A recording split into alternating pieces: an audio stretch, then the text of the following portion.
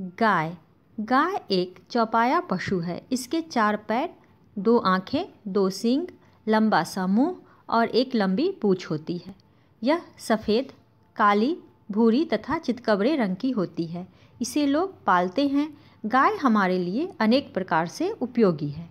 गाय शाकाहारी पशु है। यह घास, भूसा, हरी पत्तियाँ, चोकर और अनाज खाती है। यह हमें मीठा दूध देती है। इसका दूध आसानी से पचने वाला तथा स्वादिष्ट होता है। गाय बछड़े देती है।